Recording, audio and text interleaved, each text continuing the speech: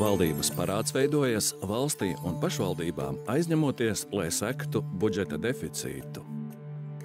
Finanšu resursus valstī var aizdot gan juridiskas personas, galvenokārt Latvijas un ārvalstu bankas, gan privātpersonas, kas savus līdzekļus vēlas ieguldīt, piemēram, valsts vērtspapīros. Krīzes situācijā naudu var aizdot arī Startautiskais valūtas fonds un citas valstis vai citas startautiskās institūcijas.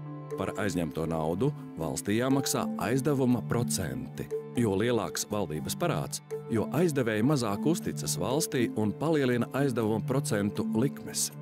Latvijas valdības parāds 2011. gada beigās bija virs 40% no iekšzemes koprodukta.